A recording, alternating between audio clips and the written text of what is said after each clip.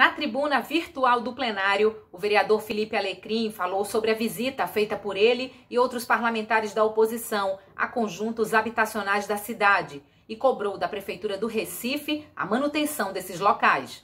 Estive há poucos dias no habitacional da Torre do Cordeiro, fazendo a vistoria, conversando com os moradores, junto com os vereadores Fred Ferreira e Renato Antunes.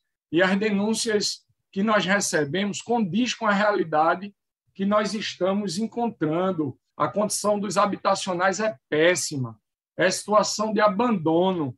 E, segundo os moradores, há décadas a prefeitura não realiza uma manutenção, uma reforma para dar uma condição digna aos moradores.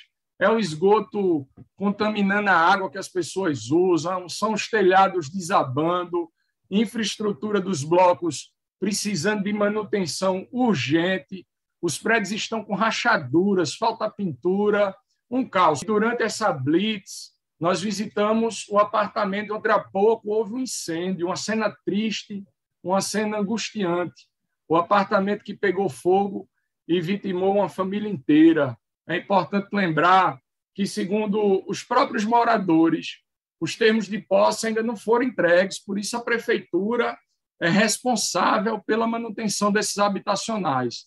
Nós vamos fazer uma série de requerimentos solicitando que esses serviços sejam realizados de forma urgente. Infelizmente, o Recife que passa nos comerciais é bem diferente da vida real.